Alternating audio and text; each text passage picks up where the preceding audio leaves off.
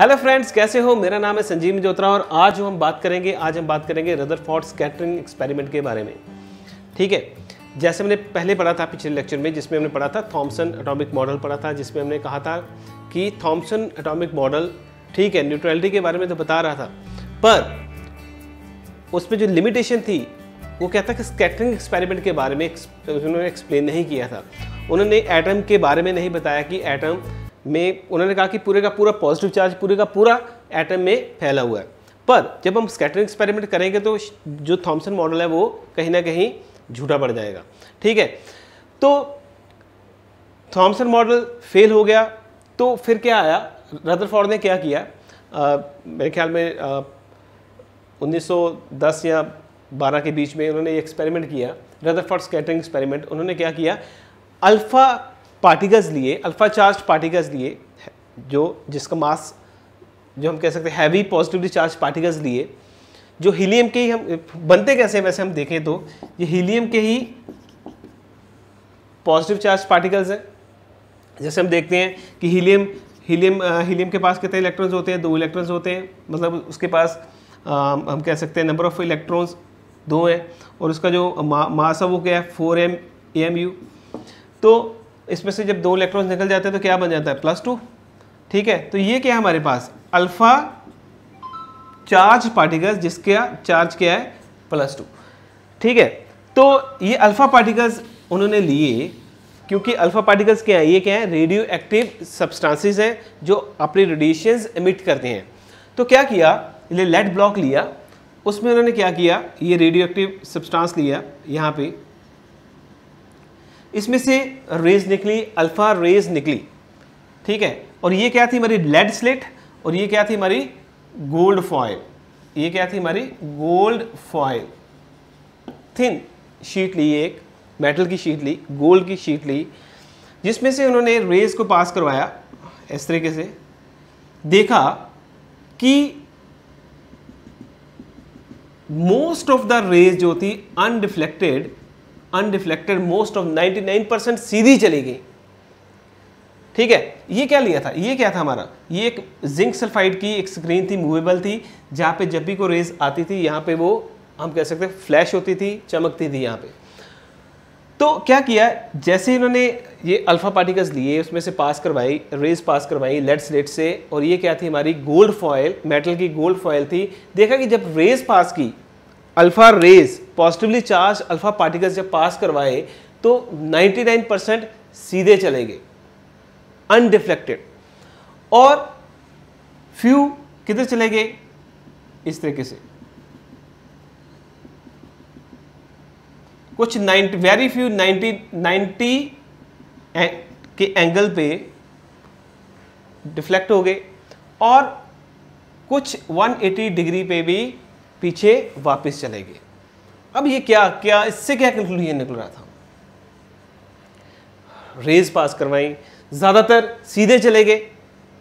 सीधे 99 पर सीधे चले गए। इससे क्या प्रूव हुआ कि सीधे चले गए एटम इससे सीधे चले गए मतलब पूरे का पूरा एटम मैक्सिमम जगह 99 परसेंट रेस जा रही है। इसका मतलब किसी खाली जगह से ही रेस निकलती है।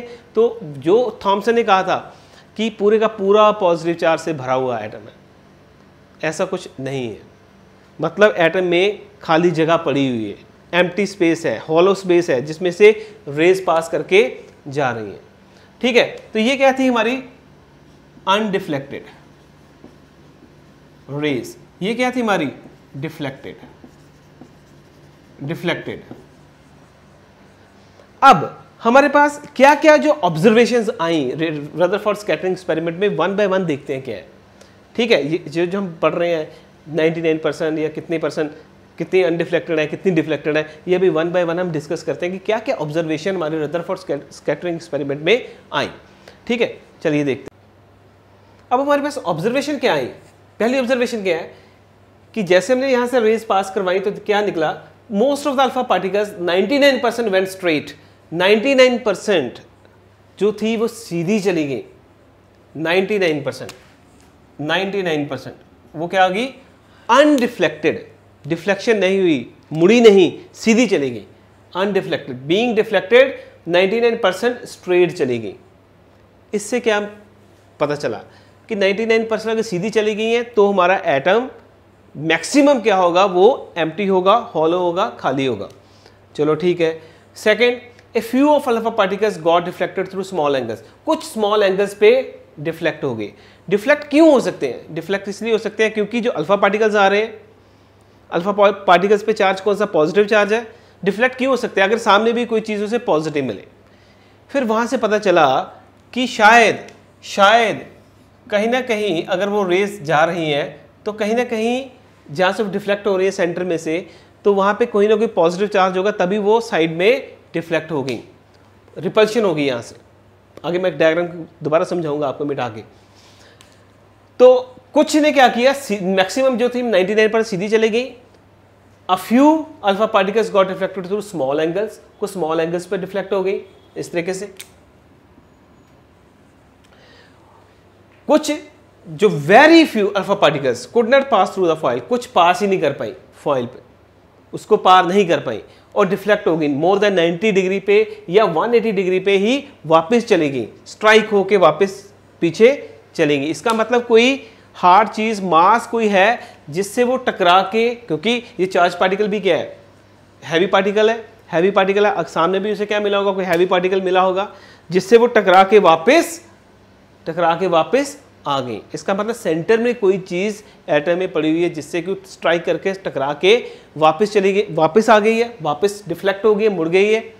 ठीक है? तो ये कुछ ऑब्जर्वेशन मिली कि 99 पर सीधी चली गई।